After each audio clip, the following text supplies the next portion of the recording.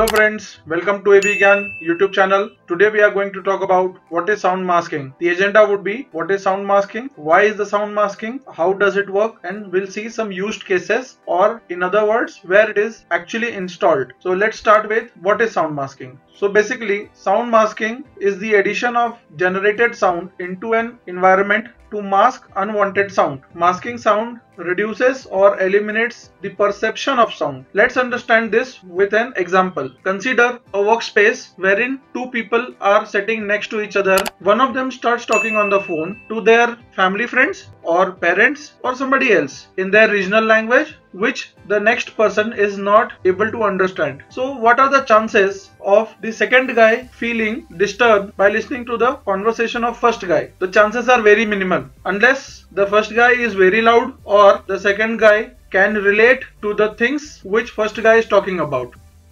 In a nutshell, masking sound or sound masking is basically adding an electronically generated sound in a given room or hall or open office premises to increase the ambient noise. This helps to create a disturbance between the speech frequencies traveling in the air. Now why sound masking is required? To understand this, we'll take an example. In this example, we are having a corporate office with open office format there are four employees A, B, C and D sitting across two workstation desks namely desk 1 and desk 2. Two person on each desk. Now let's say A and B are sharing desk 1, C and D are sharing desk 2. Let's assume person A wants to communicate something to person B which is a confidential information. Now since the area is open and the speech has no boundaries it not only reaches to person B but it will also reach to person C and D. Now there are two scenarios. First scenario is C and D both are not interested but yet they have to listen because they don't have any choice. Scenario 2 person C and D are purposely trying to get information from whatever is the conversation happening between A and B. In both the scenarios, it's important for an organization to block breach in privacy of speech.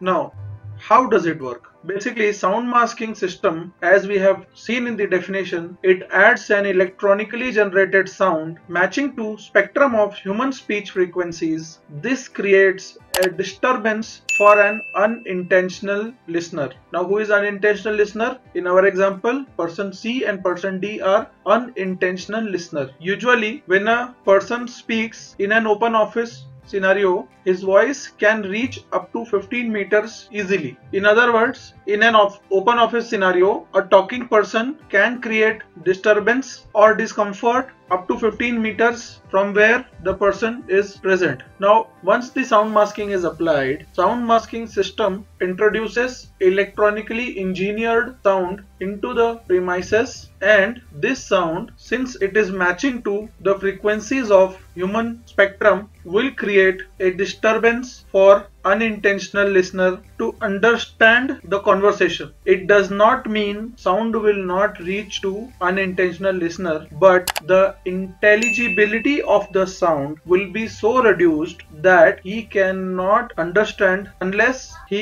is purely focused to listen or overhear the conversation. So by using sound masking we overcome both the challenges the speech privacy as well as the disturbance caused by coworkers. For detailed information, you can visit biamp.com. This comes to the end of the slide and shows to see what are the used cases. Although this product is an international, is mandate, is universally accepted, here are few places where this product is already installed. Bank of America, Amica Mutual Insurance Company, Autodesk, Bluefin Robotics, Mercy Health and many many more used cases to increase speech privacy index and decrease the disturbances caused by human speech. With this, I would like to close this tutorial. Thank you. Do share, like and subscribe. If you have any question, post in the comments. I will surely reply. Thank you.